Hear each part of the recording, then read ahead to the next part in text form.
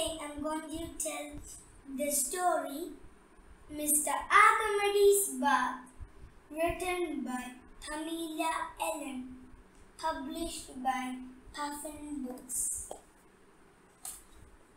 Mr. Archimedes' bath always overflowed, and Mr. Archimedes always had to clean up the mess.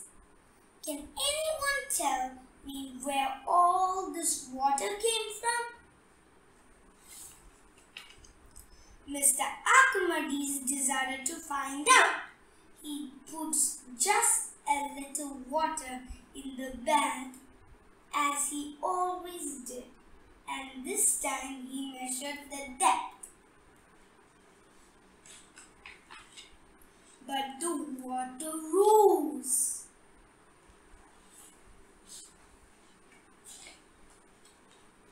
Where did all this water come from? Bellowed Mr. Archimedes. I don't know, said Kangaroo. It's not my fault, said Goat. I didn't do it, said Wombat. But when Mr. Archimedes measured it again, he found the water had gone down. Mr. Archimedes was puzzled. Must be doing this. He shouted. Where it's gone? Maybe it's you, kangaroo. You stay out and we shall see if happen if it happens again. The water rose. When Mr. Archimedes measured it, he found it had gone down again. Now let's see what happens when you are left out Goat. And the water rose. That left only Wombat to blame. Mr. Archimedes was angry. Get out and stay out, he shouted. But the same thing happened again.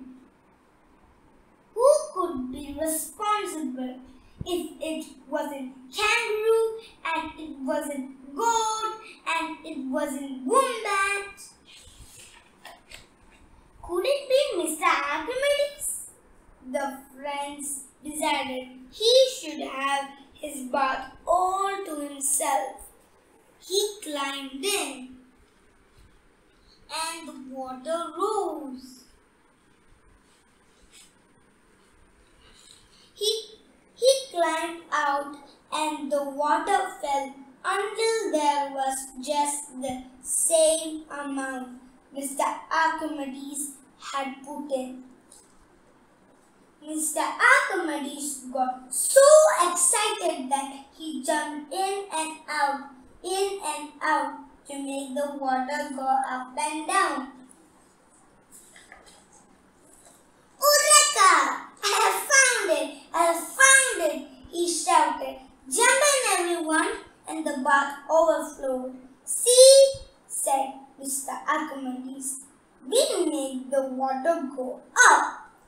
There are just too many of us in the bath. That's all. The friends had so much fun that night, jumping in and out, making the water go up and down, that they made more mess than ever before. Thank you.